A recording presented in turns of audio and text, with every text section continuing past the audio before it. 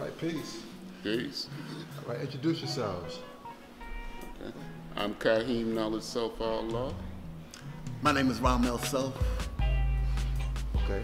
And uh, so tell me a little bit about the history of like how you got, well, first tell me how, how you two met.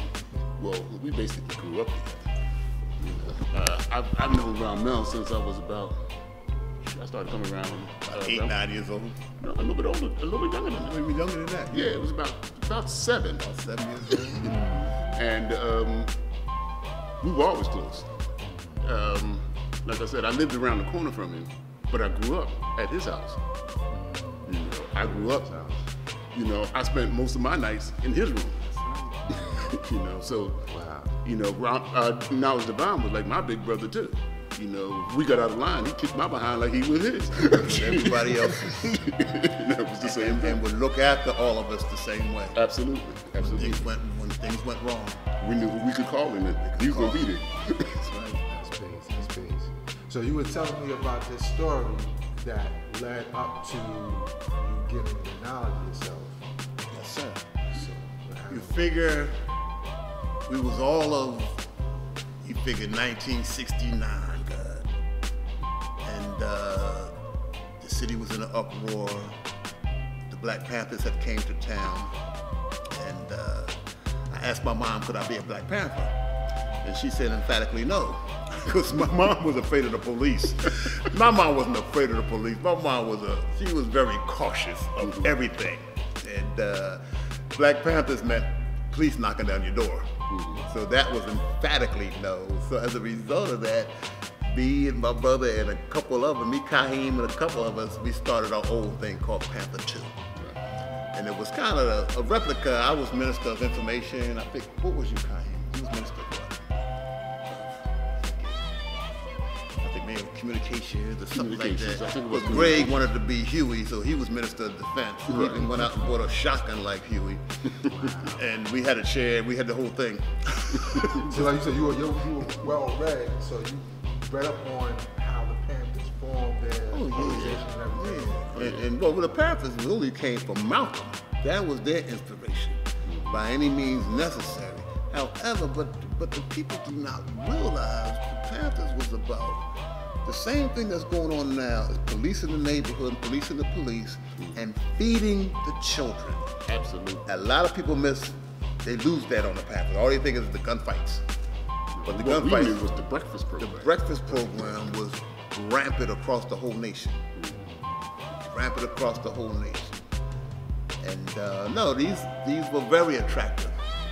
Attractive in a in a positive way. Yeah, but we grew up in the streets where we were watching our people being beaten on a regular basis, you know. And police. Oh, absolutely, all the time. I mean, men, women, children, it didn't matter. So I, I, guess the best way to say is that we were dissatisfied.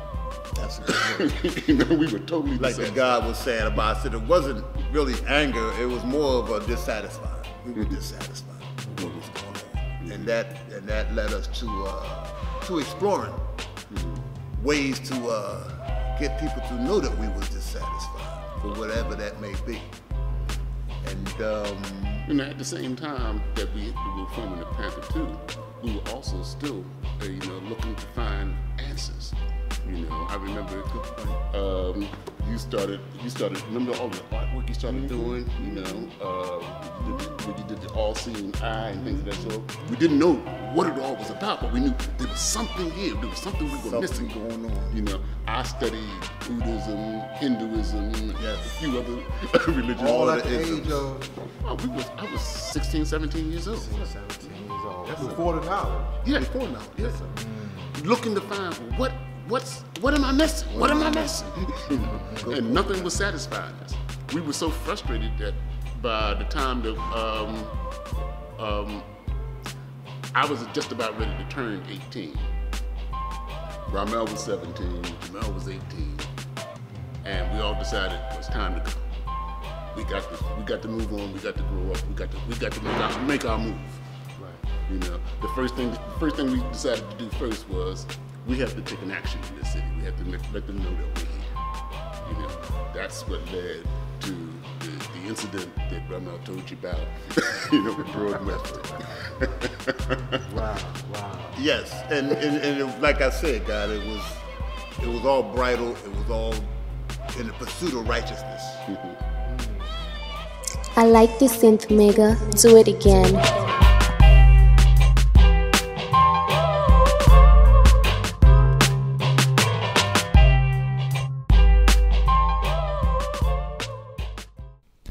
See the entire complete film that these segmented clips come from, join 7 on Demand.